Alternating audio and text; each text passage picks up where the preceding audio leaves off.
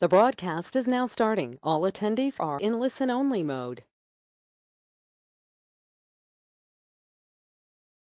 Good afternoon. Ramadan Kareem, and welcome to the UAE's inaugural webinar uh, for IWFM. Uh, it's four o'clock here in Dubai, and uh, we're gonna have one hour probably online doing what we had started to plan about two weeks ago and address mainly on COVID. The subject today uh, is basically uh, a very topical question, and what we do beforehand is just to review what IWFM's purpose is of holding this webinar. Uh, the vision of IWFM is very much as a pioneering workplace and to be a trusted voice within a distinct profession. In terms of our mission, Uh, the empowering enabling of people in workplace and facilities management is by sharing of knowledge, which is what we try to do today, and allowing people to introduce leading-edge thinking. Strategic aims of IWFM, there's five altogether, and these are all available in further details on the IWFM website. Uh, but it's part of the distinct programmed panel of uh, mediums, Uh, which we're hoping to engage more so, particularly in the virtual sense, uh, over the coming year. So this is 1-20. It's the first of the 2020 webinars, and our plan is to hold them on a monthly basis hereafter. So today's is focused on sharing confidence and best practices in uncertain times. We tried to pick a topical subject, something that relates to everybody. Uh, we've currently got 150+ people registered for this event and about 45 who are online at present, and I'll keep you updated on that as the attendance figures go. So the first event today, myself, David Carey, as the producer, as a member of uh, IWFM and on the UAE committee, and I'll shortly be handing over to Sara Momtaz, who will be the moderator for today's event. And the three panelists, uh, two are Uh, long-standing UAE committee members, and one is somebody who actually helped start the committee several years ago, uh, Adrian Jarvis. And I'll leave uh, Sarah to do the full introductions. So without further ado, we'll start off with what's gonna be IWFM and the participant introductions, which will be done by Sarah. The basic format for today will be that we'll have three questions, and each will be followed by a straw poll. So you'll see on your screen that there'll be a multiple choice A, B, or C. It's not a full survey. We're just trying to get a general feel for how people are uh, addressing the particular topics. And for the three questions, each of the panelists has been primed with the generic topic that we're gonna talk about. But other than that, they're speaking straight from the heart, representing their particular aspects of the FM sector. Uh, we'll then, after about 35 minutes, go on to a Q&A session. Uh, I encourage each of you, as you'll see on the options you have on your Citrix webinar control box, is the option to be able to submit questions. At any time during the presentation, you can do this. It won't interrupt our flow. And a team of those working behind the presentation will be sifting through the questions to find the two or three most topical, uh, which we'll then introduce for the panel, uh, which they won't have seen before during the Q&A session, which will last for about five to 10 minutes at the end. Uh, then we'll have closing remarks and a quick heads-up of coming events. Uh, and that's it. So uh, it's a great pleasure. I want to introduce you to you uh, our moderator for today, who's Sara and She's been out in the UAE for many years, although originally hailing from Maida in the U.K. She's got a lot of experience, very well regarded, both on client side and on service provider side. And I'll leave her to carry on and introduce the rest of the team. Thank you, Sarah. Over to you. Thank you, David. As-salamu alaykum, and a very good afternoon to everybody. Um, just would like to thank all the participants and attendees that are joining us today, um, not just from the UAE and the GCC region, but from all uh, angles of the world.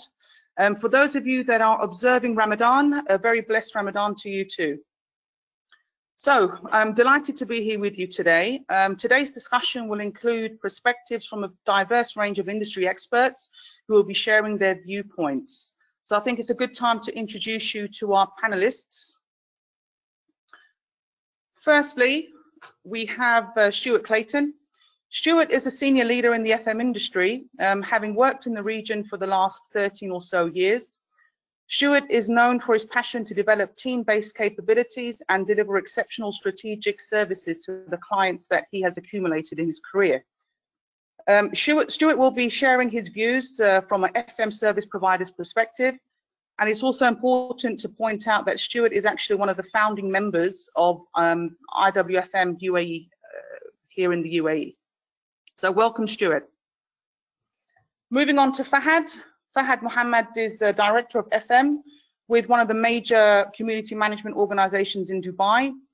Uh, Fahad's uh, expertise in operational and technical support spans over 14 years within the industry, and Fahad currently serves as the secretary for the IWFM UAE committee. Fahad will be sharing and giving us his insight from a developer um, slash client perspective. So welcome Fahad and thank you for being here with us this afternoon. Finally, we have Adrian Jarvis. Uh, Adrian's actually worked for the same UK-centered software company since 1998 and is the head of their regional office here in Dubai and has been here for the past 11 or so years. Uh, Adrian actually helped found the UAE chapter of IWFM back in 2016. He is a regular conference panelist in comprehensive FM software technology solutions. And we're fortunate enough to have Adrian here today who will be talking to us about his experiences from a service uh, provider, solutions provider and supplier perspective. So welcome, Adrian. Thank you to all the panelists and participationists, uh, partic participants, sorry. And without further ado, let's crack on to the first point of discussion. So, first question, um, how has the pandemic impacted on your business activities? And I'd like to address this firstly to Stuart, if I may. Hello, everyone. Hello. Uh, no, hi, Stuart. Good to be with you today. Um, I'm gonna. Uh, we've got three. As Sarah's pointed out, we've got and David's pointed out, we've got three questions today. I'm, I'm going to come from a, a service provider perspective, but also probably add in a little bit of my own um, kind of personal perspective on it as well of, of, of what how I felt about it.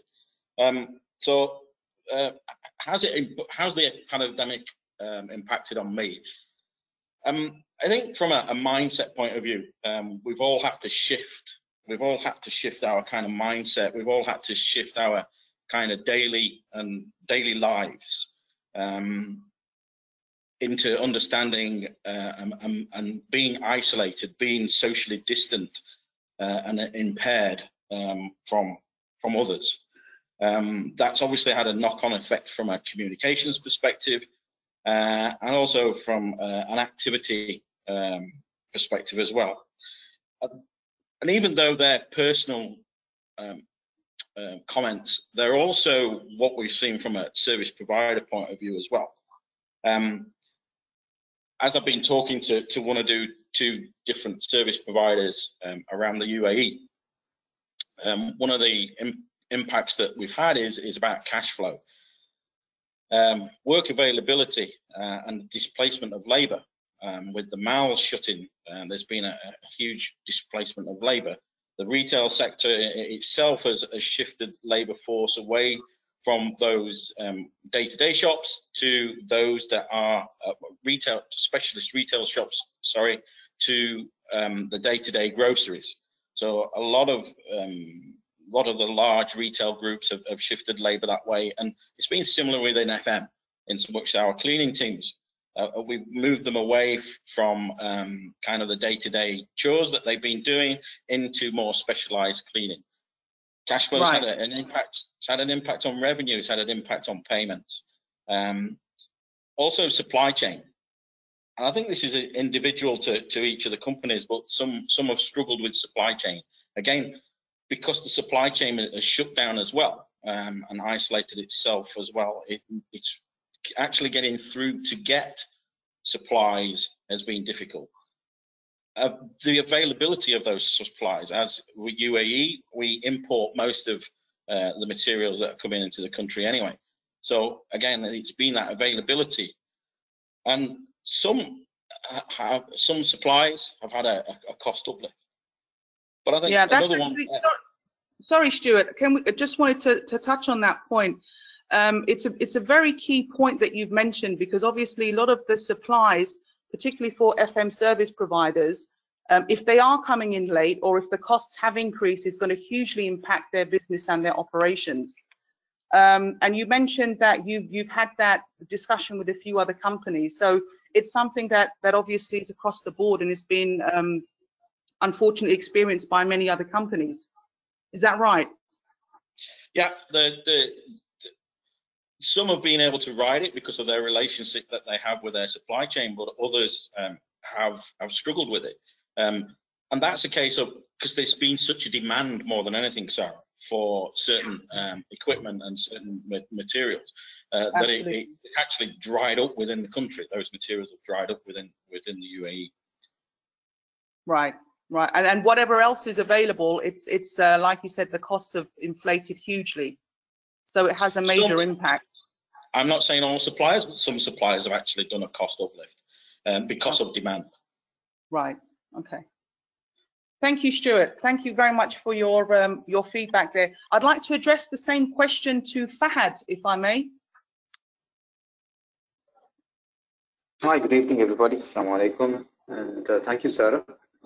Uh, going back on the same question uh, with uh, what Stuart was mentioning again, there has been a big challenge in, in terms of uh, suppliers being uh, having cash flow issues and, and delivering the right set of services and especially when you're managing residential uh, buildings more, we had the challenge to ensure that the, the services were up and running in, in the best possible manner.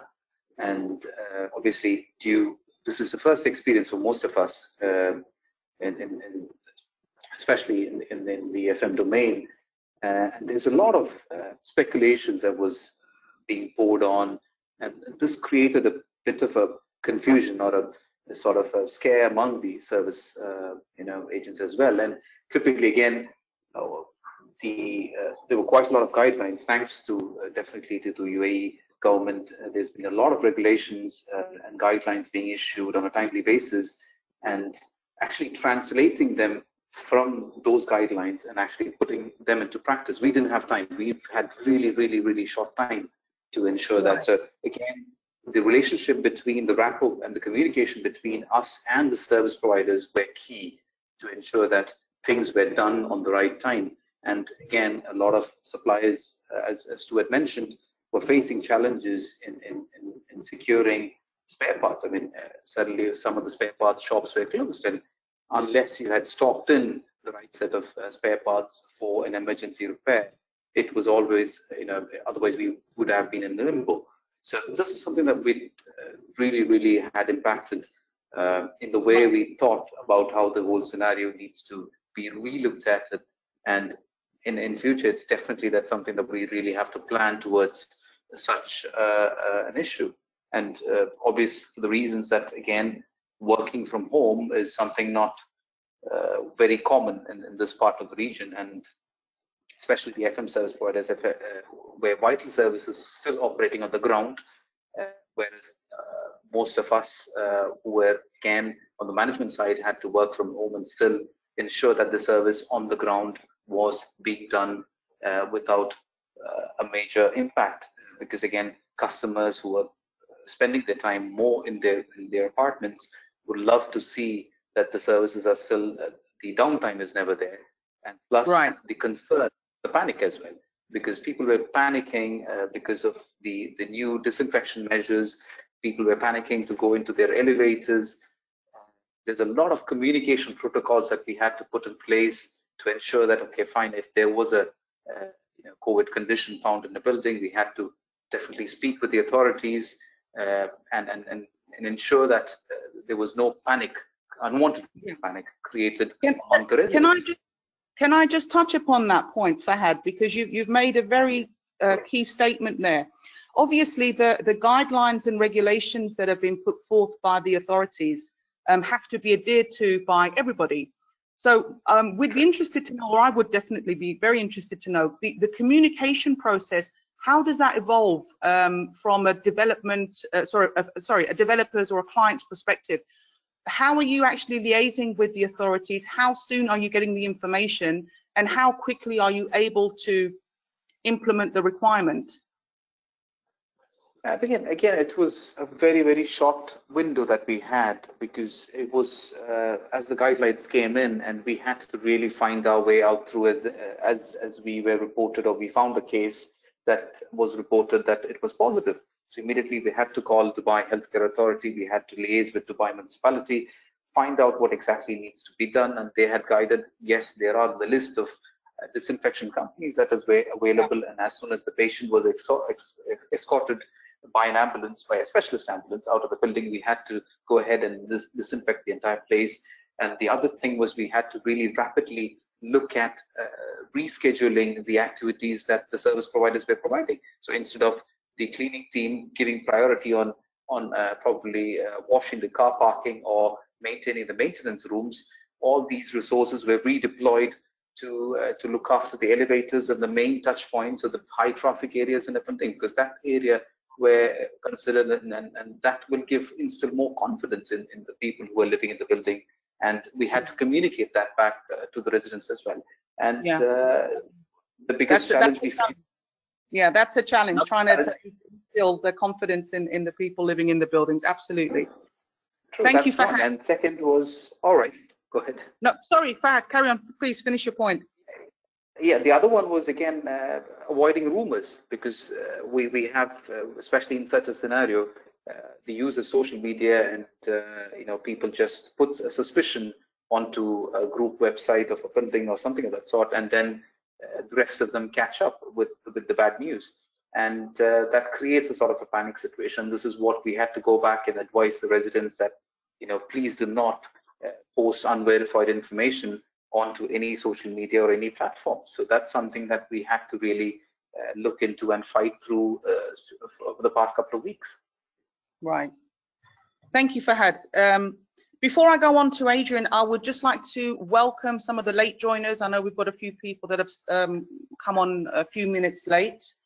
And we've got a few people that are asking about the uh, recording of the webinar. So it's just to remind you that this webinar is being record recorded and it will be published via the website once completed. Um, and on that note, uh, Adrian, over to you. Hi, good afternoon, everybody. Thank you, Sarah. Um, well, FSI went a slightly different uh, uh, perspective, I guess, from uh, actually delivering services on the ground because we're providing technology, uh, a lot of it which we can deliver uh, from uh, remotely from um, our, either our offices or now with the working from home from wherever our, our staff are, are actually situated. Um, we were quite fortunate in terms that we'd already started um, in 2019 transitioning to moving everything from physical service in our offices into the cloud. Uh, we'd adopted Office 365 across the group uh, and also chosen to stop using email as the primary medium of communication in our business. So we had already started to use Microsoft Teams um, for virtual meetings um, between our, our global offices, um, um but not so much on a day-to-day -day basis um, for our, our, our, staff actually who are office-based, say, uh, in, here in Dubai. But what um, that has, uh, you know, foundation enabled us to do was uh, having trialled for a week, uh, I think half the staff in the UK working from home, we were able to um, move within 24 hours to a full working from home um, transition uh, here in the Middle East. And wow, this is not. Uh, I'm sorry? Sorry, Adrian, I said that's very impressive within 24 hours. Yeah, absolutely. And I, I, think you know because we had already put the foundations in place um, over the, the, the, the, year or so before, um, we, we, were in a very fortunate position. What we did have to uh, now adapt to was how our clients were geared up to actually um, accept delivery um, remotely. That there has been um, a uh, a need to be actually at client sites often because there's a sort of accepted culture of if we can't see you, are you working for me? Um, and you know th this change uh, to working from home and virtual working was probably one of the biggest impacts that uh, we had because we saw a number of projects stall uh, initially um, because clients were saying you, are not here um, you know we're not going to proceed at the moment with this we'll wait until uh, um, uh, the situation has improved. However as time has uh, moved on both from a business development and from a product delivery and support perspective that there's more and more acceptance that this technology uh, allows uh, business as usual to continue uh, on a day-to-day -day basis with, without um, you know, impacting uh, both the client uh, in terms of what they, they're getting, nor uh, from an FSI perspective in what we're doing. In fact, probably we've become more efficient and more communicative um, as a result of us all being uh, isolated, working from home, but virtually talking more than ever. Wow. And you've actually made a very interesting point, Adrian, where you spoke about um, it's almost a, a, cultural thing. You know, if, if people don't see you, they don't believe that you're working. Do you think that this whole working from home um, sort of period that we're going through at the moment has put back a bit more trust in the client, especially from your perspective, because as, as you said, you're doing everything, you know, from, from a technical kind of behind the scenes, excuse me, standpoint. Do you think that clients have got more confidence now to say that, well, you know, we don't necessarily need them to be here on site, they're, they're doing their job um, remotely? I, I, certainly think that, that that's the, the experience of uh, uh, our professional services uh, guys. Um, we're even offering training uh, remotely now, which has traditionally been very much a classroom type environment um, for, for the, the, the, training on our products. Um, but you know, we've successfully now started to adapt the, the, the course content and, and, the method of, of delivery of training um, so that we can again do that um, um using virtual uh, meetings. Uh, and we're doing that not just to clients here in the Middle East, but we're doing it from the Middle East to clients in Hong Kong and in Australia. So it very much illustrates this is very much a global uh, change. Excellent. Thank you very much, Adrian. Um, what I'd like to do now is to introduce our participants to, to basically take part in the first straw poll, uh, which David had mentioned. So you should be able to see coming up on your screen um, the question, which I'll read out, um, with three possible answers. I'd, I'd like you just to click one we have around about 30 seconds for you to make your choice, um, and then we'll distribute the um, the answers uh, once we've finished. So the first thing um, that we'd like to know, in terms of the straw uh, the straw poll questions, is um, which one of the following has had the greater influence on your activities? So is it from a physical perspective, the lockdown, the whole working from home concept? Is it a mental issue, that the stress and the emotion that goes with it? Um, or is it a commercial impact um, that's obviously had a great impact on cash flow and uncertainty moving forward? Um, you know, we're, we're aware that there's been quite a few people in the industry that have either um, taken salary reductions or have unfortunately lost their jobs. So if you could please choose one of the three options and um, we'll probably be able to distribute the um, publish, sorry, the, um, the responses in the next 10 or so seconds. I think everybody's had enough time to do that. Okay. Right, so the responses we've had thus far. Oh, hang on a second. Excuse me.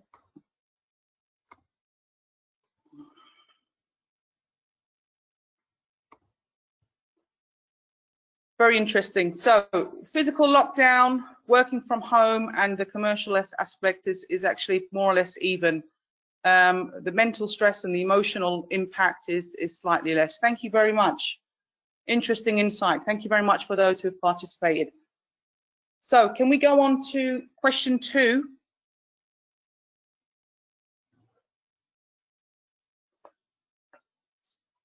Thank you.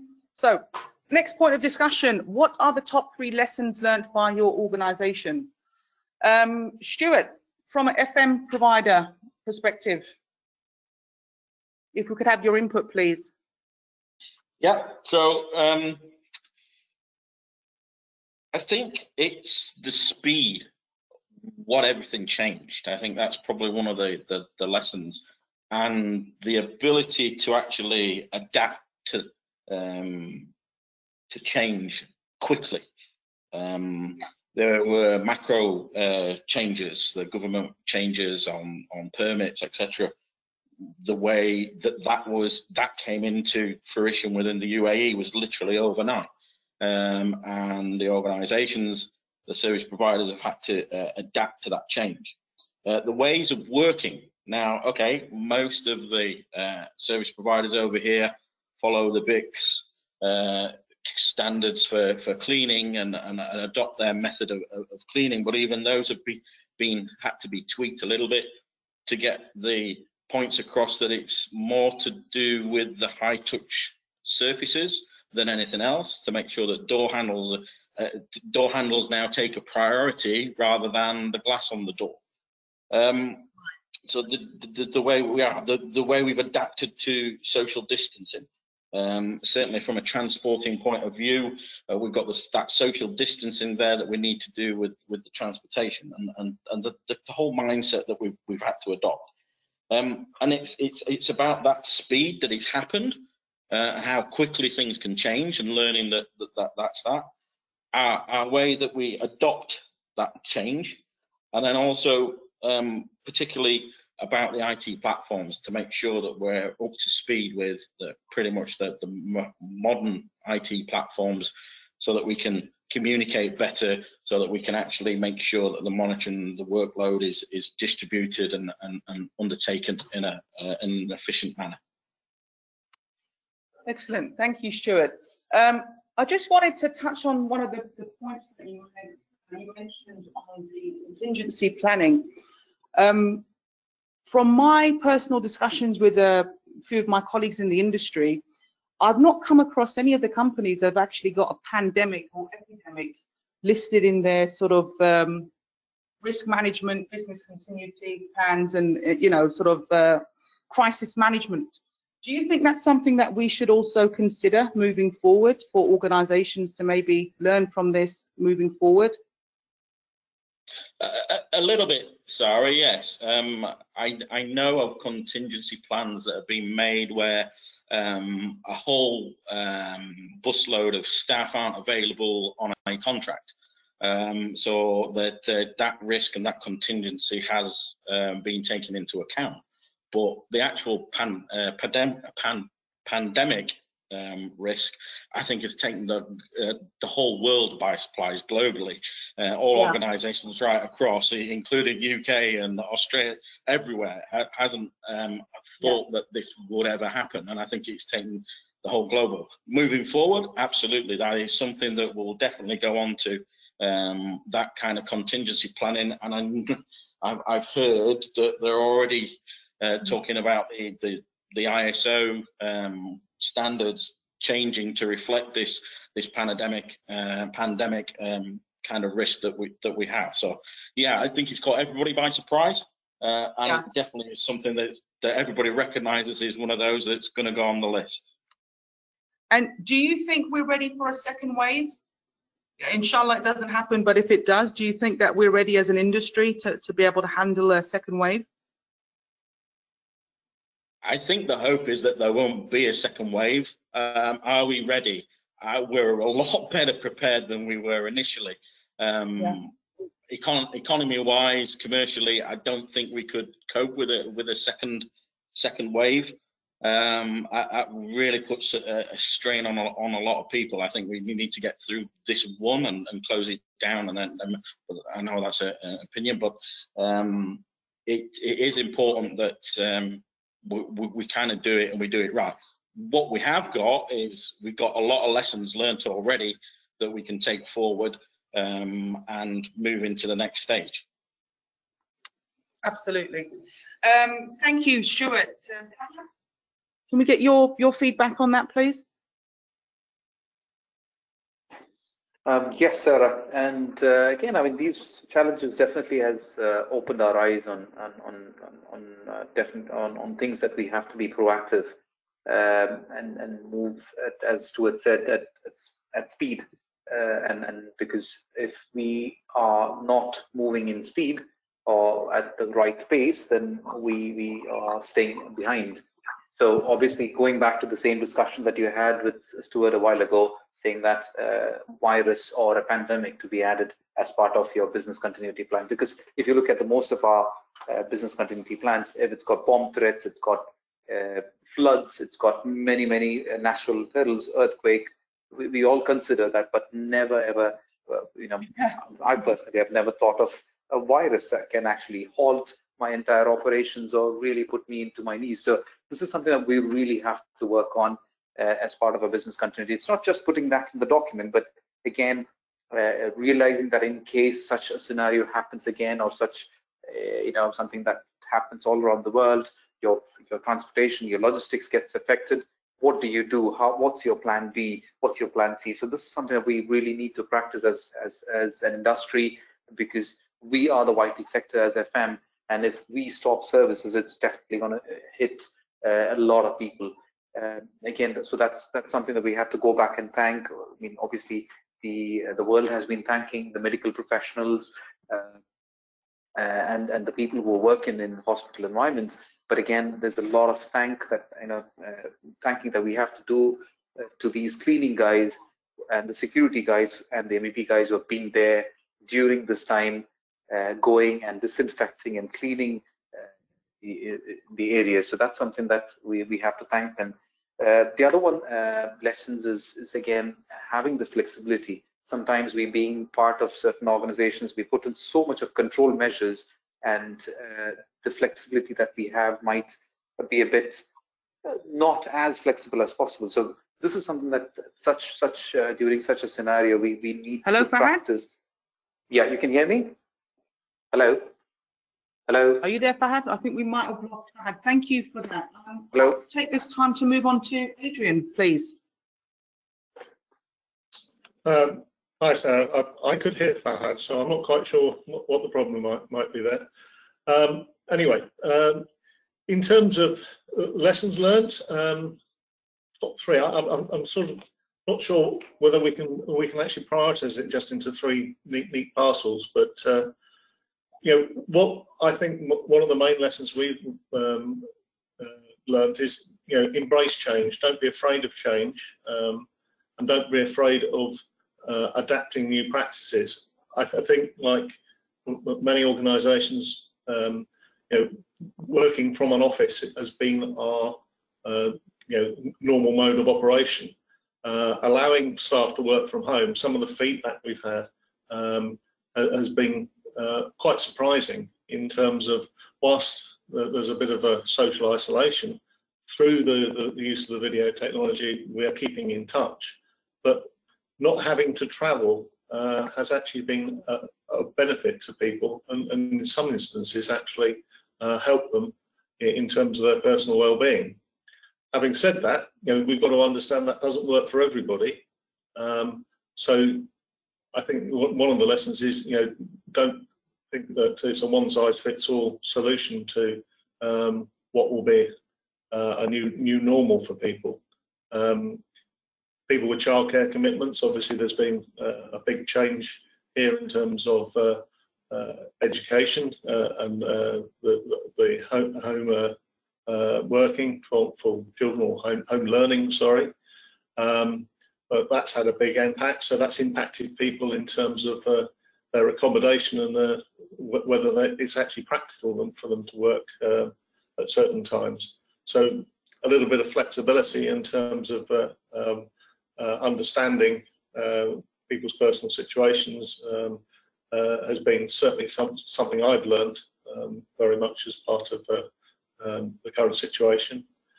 Um, from a, a, virtual business as usual perspective, um, we, made a, conscious effort to um, have, have a, a, program of contact with our clients, um, both with the, those that we call key clients and, uh, and, uh, and others.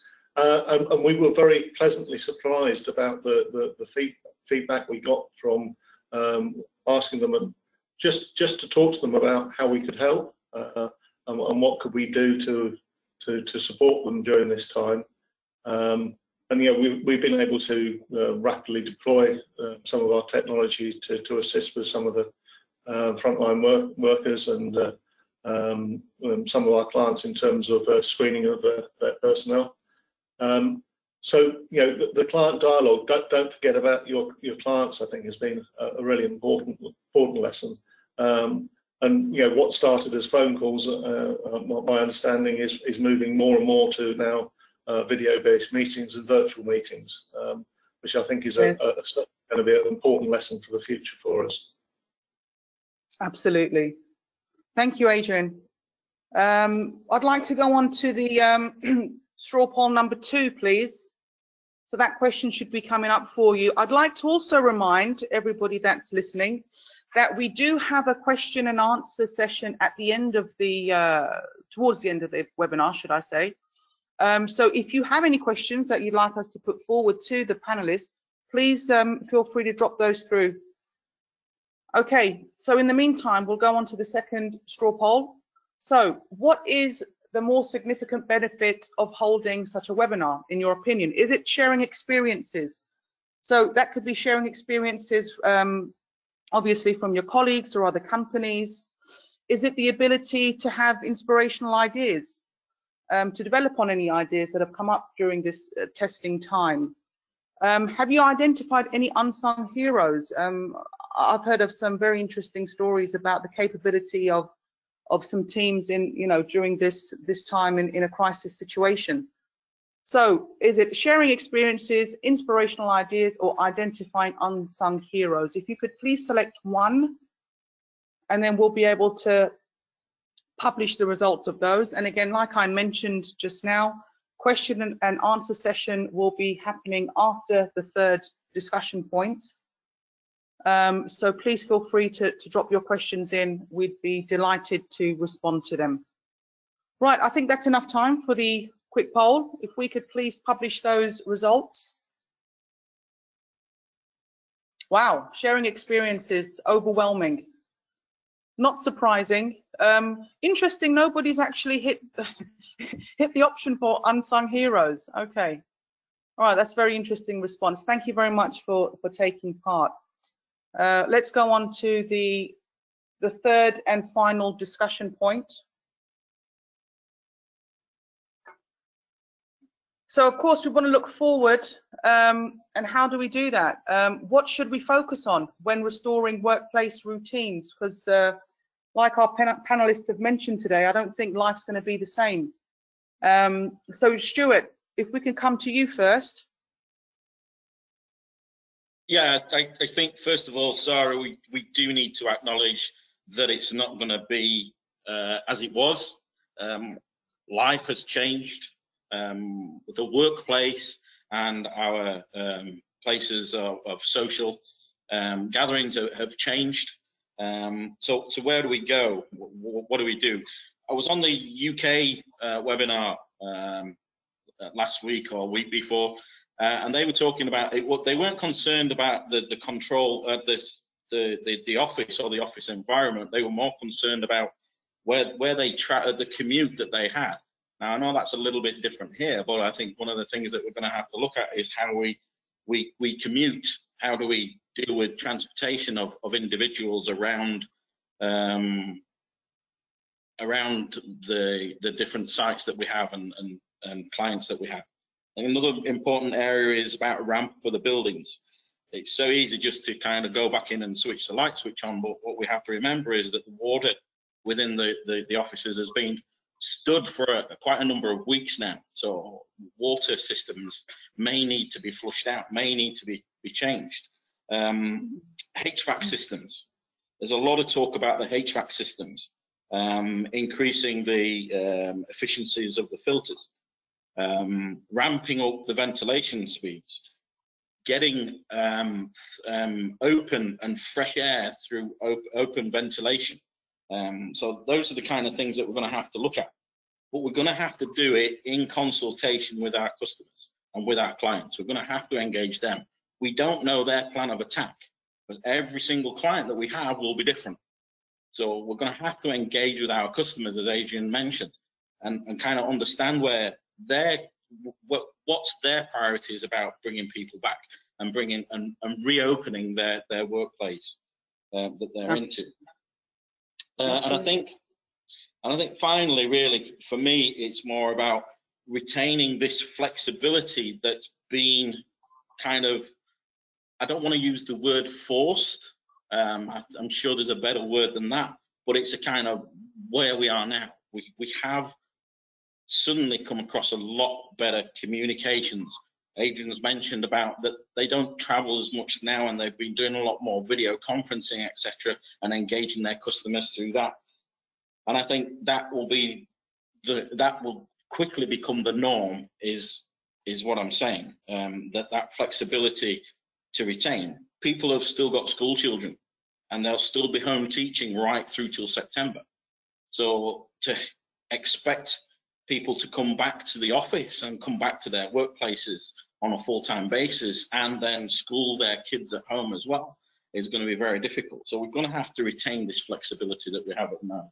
So for me, it's about ramp up, it's about engaging customers, it's about this transportation and being socially aware um, uh, and uh, being consciously isolating and uh, obviously retaining this flexibility that's suddenly come around. Thank you, Stuart. Um, moving on to, to Fahad. Hi, everybody. And uh, again, uh, thanks, uh, Stuart. That's really valid points. Uh, again, just I, I do, really don't want to reiterate what you said. What you said is really important that we really have to look in into our every system, our disinfection methods, our MEPs, our HVAC system, uh, you know, get it up and cleaned before the people starts moving in. Uh, the the point I would like to make is again strict adherence to the local regulations. Um, a lot of notices, guidelines are put up there. It's a discussion. It's on every media. But again, uh, we have a habit of ignoring certain things. We we just start taking things for granted. Uh, this is where we as FM professionals have to keep um, uh, informing and creating awareness among uh, the people that they have to take uh, sufficient care and follow the guidelines. So uh, it's, it's, it's about putting that to practice. So use of right now, obviously the 30% uh, uh, offices are working. So again, people commuting from their home to their workplace, the, the, government and the regulation states that they have to wear the mask at all times and, and the, the gloves are optional. Again, there's this, it's, it's not about just wearing the gloves. Again, you need to take sufficient care while wearing them and disposing them. So these are certain things that we need to bring in. We, it, it's again our job as community professionals to install uh, signboards or posters or display them and create that awareness among people that how they have to be more careful in, in, in, in washing their hands, use of uh, sanitizers, how they should be more careful in, in, using public toilets, uh, and which will again affect uh, you know, and them as well as the the additional users that come in.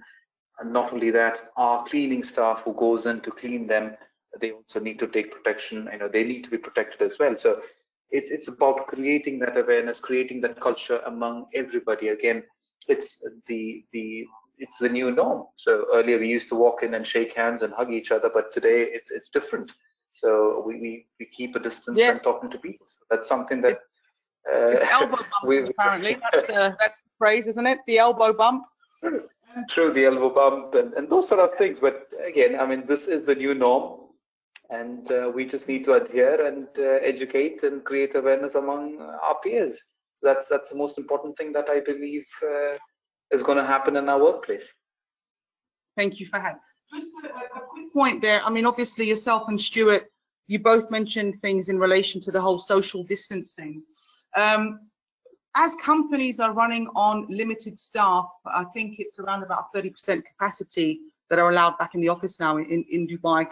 Do you foresee um, some sort of uh, leniency in terms of what, what companies are going to to look at at um, maybe reducing manpower numbers, reducing staff numbers?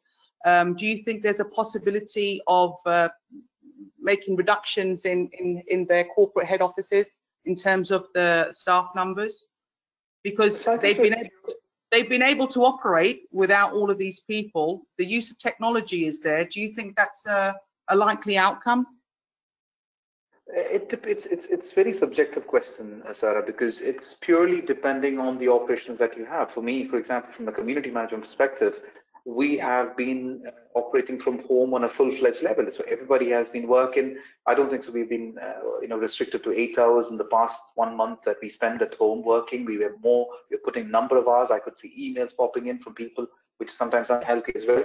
From 10 o'clock at 11 o'clock at night, people are uh, you know, you used to, for example, myself, I had was used to a routine where you you, walk out of your house and you you have an engaging day, but when you at home, you, you feel something different, and then you you try and focus more on work, probably in the late hours as well, which is unhealthy. But Yeah. uh, but again, to answer your question, it's very subjective. It is purely purely depending on the operations. For example, us, we had a lot of things to you know to be done in that period uh, to, uh, to do a lot of clearance of payments to ensure that the service providers were working, uh, to do the collections. So many things were there. It depends on the organizations. I think the retail uh, companies are affected heavily uh, because of the shutdown because they didn't want staff in there. Uh, the, the, especially the outdoor salespeople, they are facing the challenge uh, who are uh, you know walking from door to door, from uh, you know retail shops to retail shops, etc. So there is definitely a challenge in the market, but it's Yeah. it's purely uh, It's business subjective. dependent. Absolutely, absolutely. Understood. Thank you very much for your feedback, uh, Fahad. Um, and finally, going on to, to Adrian. Yes, uh, thank you. Um, I very much agree with um, what Fa- where Fahad was uh, uh, talking about in terms of uh, you know, uh, the new normal. Um, I'm not sure we know exactly what that's going to be yet, um, you know, but but certainly things are going to be very different. Um, you know, a lot of us have open plan offices. Um, you know, are we going to revert back to cubicles, which were um, rejected uh, um, a number of years ago because they they weren't very conducive to to staff uh, relationships and uh, um, productivity. Um, will we be reducing staff? As Fahad was saying, I think our team have been working at, the same level, if not a greater level, uh, from Yeah. home. Um, so reducing staff, maybe not, but absolutely having flexibility about whether people need to be in the, in the office uh, every day of the week, uh, I think will become um, uh, more uh, normal for us. So we may not have a full team in um, uh, you know, every day. We may have half the team in um, from one, one department, for example. Uh, or Yeah. people may be able to choose when they come into the office uh, and use technology to book uh, uh, what will be, a, I suppose, a form of hot desk. You know, um, I, I think you know from a technology spec perspective, we, we're going to see quite a lot of apps come into um, uh, the workplace. Um, I already mentioned the, the booking type of app, but but also welfare apps. Um, you know, we did a, a screening app for one of our clients here to uh, record um, uh, the temperature of people and automatically record them against their, their personnel record. Um, but I'm talking more about a wellness daily health check, almost um, like a vehicle check, if you like. You take a company vehicle out, you know, have you checked the oil, have you checked check the wa- water in the windscreen wipers, have you checked the tire flashers? You know, are you feeling well enough to be in the office? You know, uh, have you been in contact with people that haven't been well? Um, you know, booking your time uh, at home um, in a flexible way. So it's not- it's not nine to five. It, you know, it, it's uh, as Fahad saying, people sending emails at 10, 11 o'clock at night is not necessarily healthy, but it might work for some if they've got childcare uh, uh, issues. Right. Uh, Yeah. So it, it, there's a lot of flexibility. You know, I don't think we're going to go back to, to the way it was before. We, we had a substantial amount of travel uh, for our professional services and sales um, people. Uh, I think uh, there will be travel, but it will be reduced and perhaps much more um, planned than, uh, expected. You know, I think uh, certainly regionally it's been expected that you have to travel and see someone face to face. But I, I'm sure that uh, that is not going to be the new normal. It's going to be, um, uh, you know, increased use of the video um, virtual reality meeting um, as opposed to face to face. So. yeah. Thank you, thank you, Adrian. No, it's it's it's interesting that that you know you yourself and Fahad mentioned that because um, as you both mentioned or you both stated, there's a lot of people that are working from home and can work from home, and some organisations, as opposed to sort of reducing staff numbers, could maybe consider reducing their corporate office size if, if it's not no longer required. If, if there is an um, incentive to to save costs at this difficult time, so that's one of the reasons I asked the question. But thank you, Yeah. Adrian. Thanks for the feedback. No problem. So if we can just go on to our final straw poll. So fingers at the ready, guys. what will the post-COVID-19 recovery process be for you? Um, is it going to be business as usual? Um, very unlikely, as as per our panelists. I don't think anything's going to be going back to usual, but that may be the case for some of you that are listening. Will you be having some re-engaging issues or will there be a major revision of workplace routines? So please choose one of those and we will publish the responses in a few seconds. Um, in the meantime, I understand that we have got quite a few questions that are coming in. Um, and we have streamlined a few of those questions, so uh, we'll put those forward to the panelists shortly once we come back with the uh, results of this quick poll. So if we could maybe publish those now, see how we done. I think everyone would have responded by now. Oh, so we have got a few people have actually replied with business as usual, which is interesting. Be interesting to know um, what fields they're uh, responding from. And, you know, as expected, a major revision of workplace routines is the overwhelming uh, majority. So just, just like to thank everybody for the, um, the discussion points and also for your contribution in the straw polls. And um, we'll start to look at some of those questions. If you could just bear with me a few seconds. Okay, Sarah, um, I've been monitoring the questions as they've been coming in. We've got about 15 altogether so far, uh, ranging from uh, 12 different people. Uh, the first question uh, for the panel uh, relates to uh, the same topic from about three or four different people. First was from Yusuf Haji Ibrahim, also Vizier Hussain, and it's basically expectations from the clients relating to the contracts. Because if the KPIs are tough and they're still at above 90%, and in order to keep costs down because of change of circumstances, uh, a service provider can only use less manpower or there's conflicting priorities against budgets.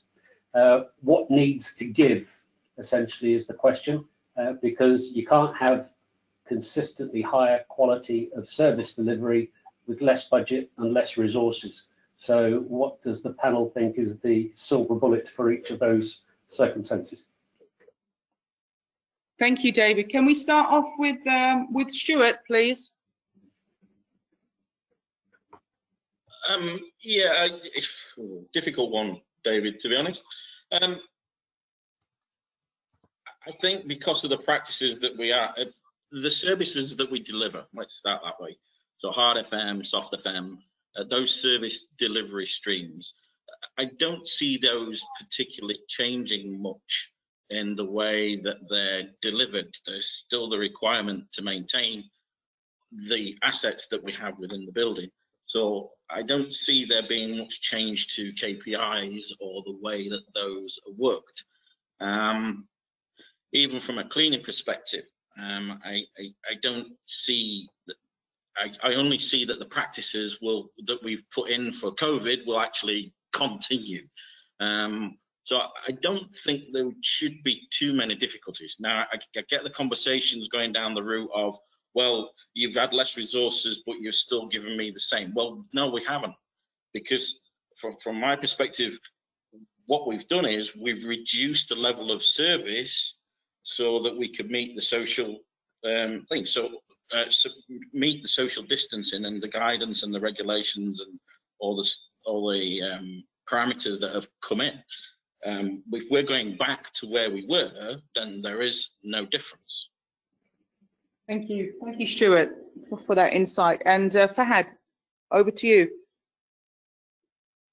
Um, in the short term, obviously, during this period of time, uh, we have definitely relooked at uh, the service levels and uh, it will be adjusted. And this is, again, a condition that is beyond our control or beyond the service provider's control. So this is an emergency period, we understand.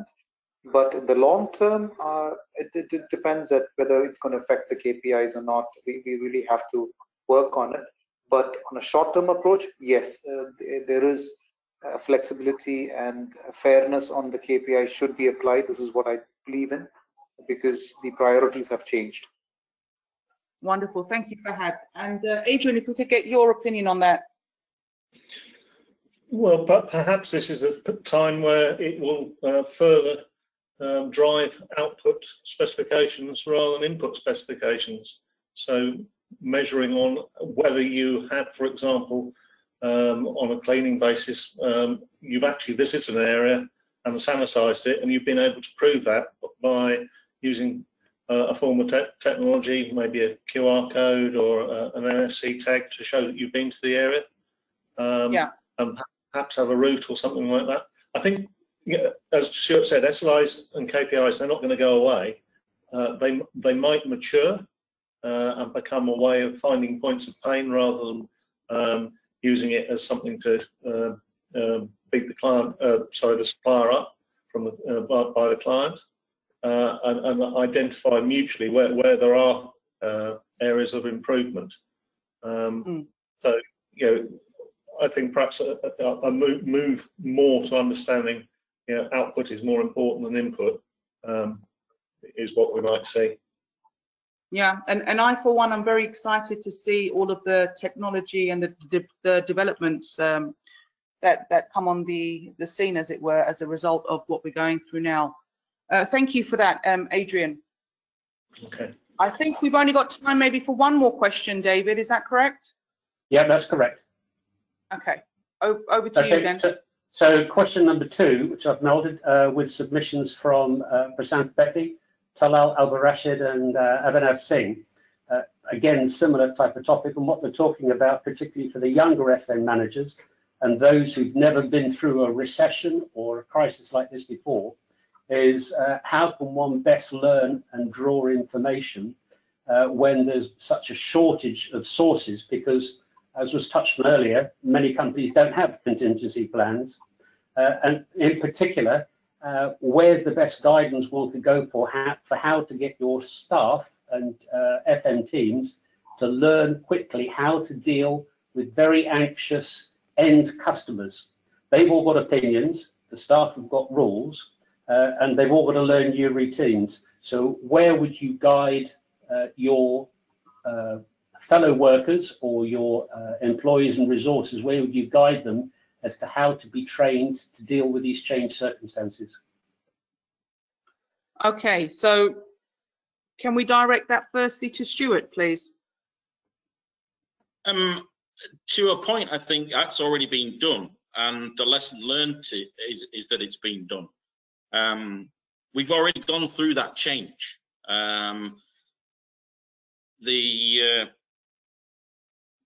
like I say, it, it's it's changing the mentality and and having that cooperation and that it, it is tool. It's about training, regular training, communication, having regular communication. Um, it's it's all those things. Toolbox talks, going through the toolbox talks. What we need to understand now, from a cleaning perspective, is high touch services, uh, high touch surfaces, should I say, um, more than just making sure that a floor's been mopped. It's about making sure door handles and, and, and, and light switches and, and, those items have become suddenly more important than making sure that a, a piece of vinyl is, is polished up. Thank you, Stuart. Uh, Fahad? Yeah, I, I, guess it's uh, about uh, evolution. Uh, obviously, everything has a first time, so we have gone through it. We started receiving certain guidelines from different parts of the world, from WHO, from different universities across the world. uh, in time, I believe uh, IWFM um, will have one. I mean, it's already started publishing certain guidelines. Uh, I've seen ASHRAE has published a bit mostly on the HVAC uh, side that what needs to be one, what needs to be taken care, etc. I think a lot of these professional bodies have already started relaying information and putting out guidelines out there, uh, so that what we can actually take up and use those guidelines to develop further guidelines, which will be more apt for our sort of organization and our, Yeah. our sort of uh, operation. Yeah, and that and that's a key point. It's about the, the evolvement and the development all the time because we, as, as we're moving forward, we're learning so much more about this whole disease and, and the impact that it's had. Thank you, Fahad. Um, and if we could just round up with Adrian, please. Um, yeah, I, I'm really totally with Fahad. You know, the, the professional bodies is the place to get a lot of this uh, knowledge and information from. Um, uh, as, as he was highlighting, many of them are already um, offering or, or drafting uh, best practice guidance. Um, you know, I think we, we need more uh, events like this so we can uh, share knowledge and share uh, experience uh, and help people um, you know who have got uh, less experience learn from others who've got uh, got greater knowledge um, and you know, um, get that guidance that you know we all seek um, to, to, so that we can improve and do our jobs better. Yeah, absolutely. Thank you, Adrian. Thank you very much. Um, unfortunately, we, we've run out of time, so we won't be able to take any more questions. Um, as I mentioned before, the webinar will be, uh, or is being recorded, should I say, um, and will be published on the website. I just want to take this opportunity to thank our panelists, um, Stuart, Fahad, and Adrian. We very much appreciate your time. Thank you to all the attendees and the participants for joining us. Um, I'd like to thank our support team. Uh, David Kerry, as, as, probably you all, you all know, um, is the producer. We've got a great support team in the UK that have helped put this webinar together. Our regional sponsors, um, Adib, we've got BFM, uh, Mace Macro, and a few of the others. Um, I'm not going to point them all out, but they're there mentioned on your screen just purely because we're short on time. So thank you very much for all joining. And we look forward to seeing you in future events. And I'm going to hand you over to David, who will tell you about what's going to be coming up. Um, so, you know, you can keep a, a note for your calendars. Thanks again and goodbye to all. Okay, lovely. Thank you very much, Sarah, for being a moderator today.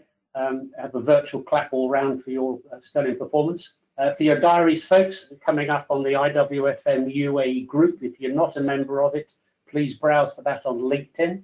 Also keep track that there are other webinars being run by uh, the parent organisation within the UK. So 6th of the May, the next one for your diary. Uh, it's now coming up every two weeks. There's a webinar uh, on Tales of the Front Line on the 13th of May. For everybody's diaries, there is the World FM Day, supported by IWFM. 27th of May is our next webinar, which will be 2 of 2020, uh, in which the title and the details will be published shortly.